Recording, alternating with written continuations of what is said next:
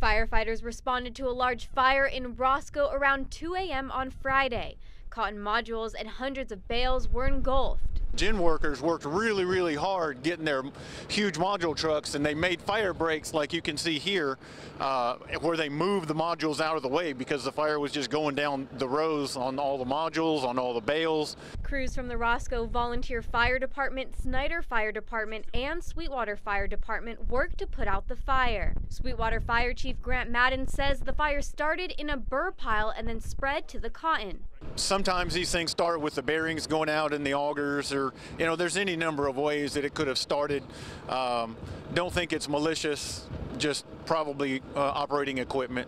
Firefighters worked to put out the burning cotton, but wind gusts were too strong. Madden says the quickest way to put out a cotton module is to let it burn. We've never actually succeeded, no, unless you catch it very, very early uh, and, and are able to dig that burned cotton out of it because it'll burn up inside that module and eventually it will all burn up. Manager of the gin says the fire caused an estimated $825,000 in loss at the Roscoe Co-op Gin off Highway 84 and the gin won't begin operations until the fire is out.